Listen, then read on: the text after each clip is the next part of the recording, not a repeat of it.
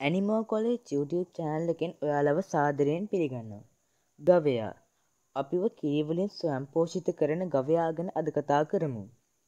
මිනිසුන්ට අතීතයේ සිටම ගවයින් මහත් සේවයක් ඉටුකර ඇත. අතීතයේ කුඹුරු සෑම, කරත් ඇදීම, එළකිරි දීම වැනි ගොඩක් දේ අපට ගවයින් ඉටු කරලා දීලා තියෙනවා.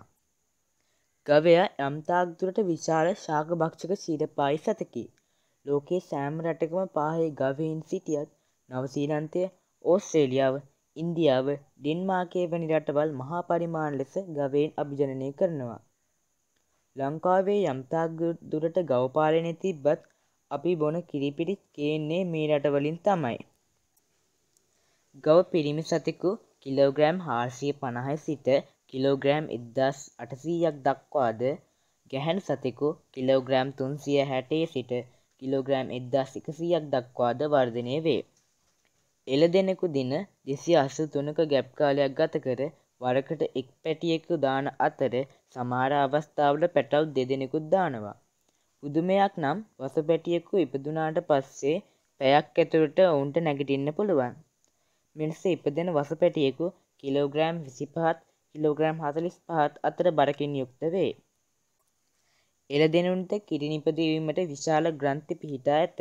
මොවුන් ශාක භක්ෂකයෝ හින්දා කොළ වර්ග එළවනු වැනි දේ කන අතර ඒවා කෑමට ඔවුන්ගේ දත් සුමටව මහතට පිහිටා ඇත. ගවයින් ඉතාමත් ශක්තිමත් වන අතර කුළුහරක් වැනි සතුන් ඉතාමත් කලහකාරී වේ.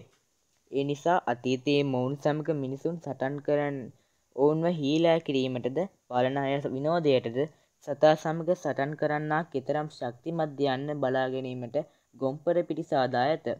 ඉතාලියේ තියෙන කොලෝසියමේද මෙවැනි ගොම්පර තිබිලා තියෙනවා. ඕගොල්ලෝ චිත්‍රපටිවල දැකලා ඇති.